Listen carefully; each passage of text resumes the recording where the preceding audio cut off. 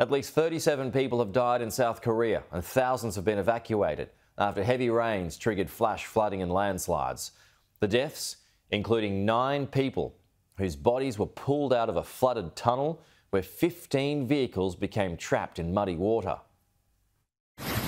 Days of torrential rain across South Korea have caused deadly flooding and landslides. For now, rescue efforts are focusing on this tunnel in the city of Cheongju.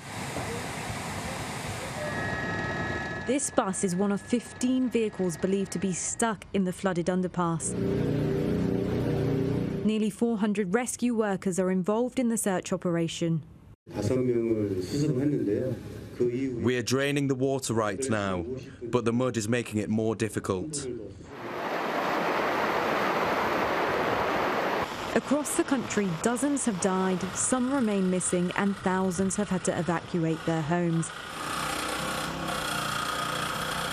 Residents have had no choice but to watch in horror as buildings were destroyed and in some cases landslides swept away whole homes. During this time of year, rainfall isn't unusual in the country, but the destruction it's brought is worrying generally most of the world is not prepared for these excess flooding events, um, which will, of course, become worse. The climate is changing, and we have more energy in the atmosphere. You, a rough rule of thumb is for every one degree rise in temperature, there's 10% more rainfall, certainly in the Northern Hemisphere. So that tells you already that you will be getting more rainfall.